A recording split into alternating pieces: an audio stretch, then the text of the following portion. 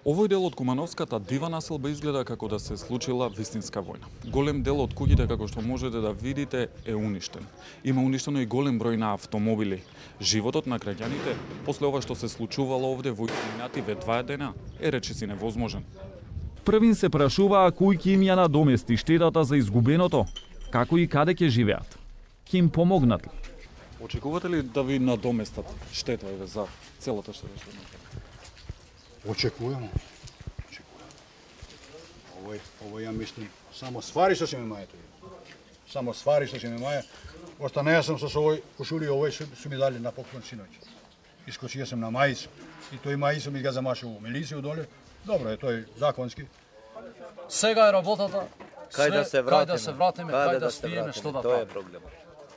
Каде можеме да се сместиме, тоа е проблемот. Каде да се сместиме? Проблемот е тоа каде. Еве и вие сами гледате се живе или вакво во овие услови.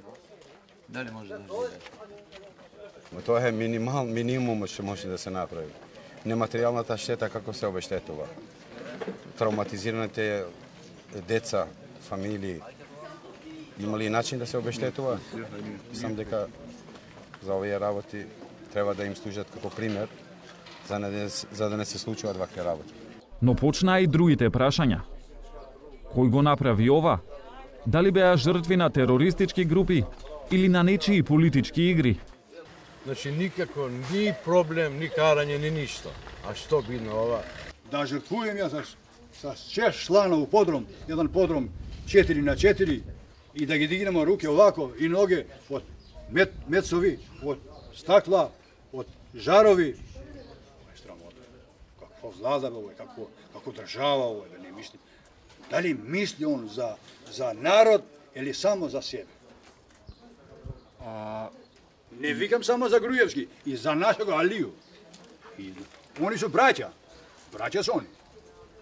Во Кумановската дива населба, во понеделникот немаше пукотници, но низ улиците беше преполно.